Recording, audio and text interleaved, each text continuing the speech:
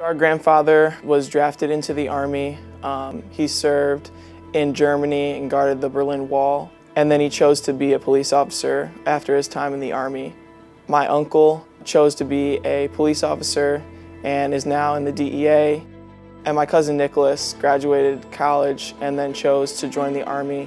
It's always been important for us to choose service. So all of us Giovanelli cousins are, are pretty close in age. We were born pretty back to back, so it was really cool growing up. It was like having a bunch of siblings. In the summers, I would go to their house down in Springfield, Illinois, and hang out with them for a couple weeks. My memories with them start as early as I can remember, you know, playing driveway basketball, backyard football, soccer.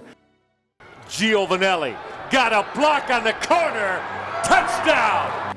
My oldest cousin Tony's first year at the academy was in 2011. And since that year, Army-Navy has been like a, holiday in our family. Uh, every year, we gather at someone's house to watch the game. Option left.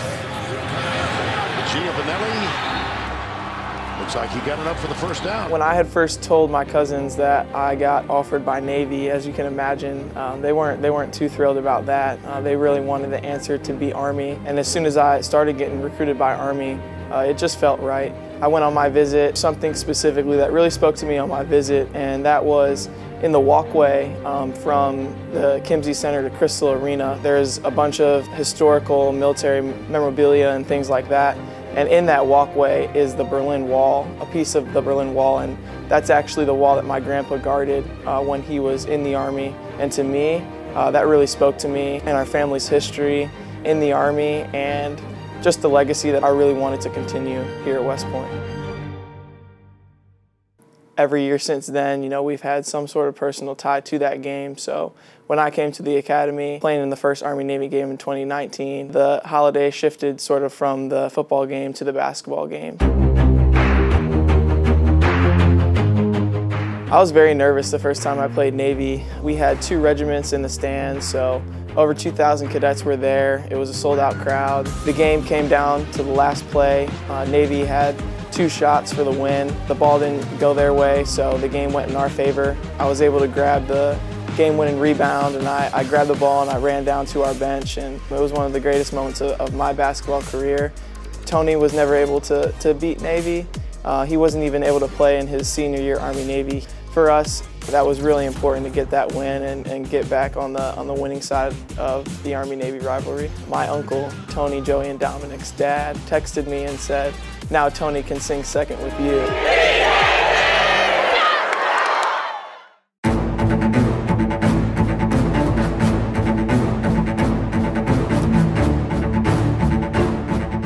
Being a leader at West Point is being a leader amongst leaders and for me it's a really cool experience to have so many knowledgeable people around me to guide me and help me out. Being what this team needs being able to adapt to the individual needs. Lise is, is very intense. She was passionate and didn't shy away from telling me what she wanted in her next coach.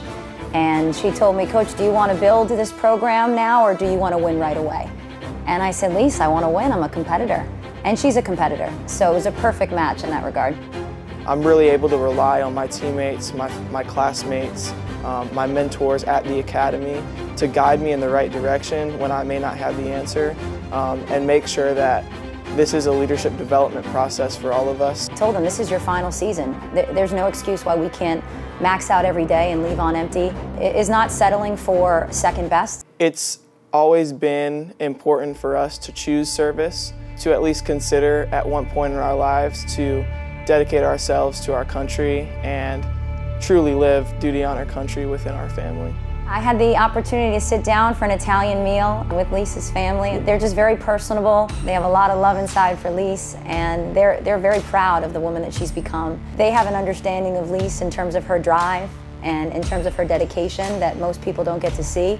I've been lucky enough to see it on a daily basis, and you know, I consider myself pretty fortunate. You know, I'm happy that our paths crossed. I know that Tony, as well as all my other cousins, just want me to be successful and uh, they're really proud of me for continuing this legacy.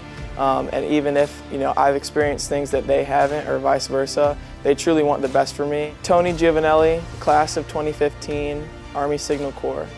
Joey Giovanelli, class of 2016, Army Signal Corps. Dominic Giovanelli, class of 2019, Army Signal Corps. Alisa Fallon, class of 2022, Military Police.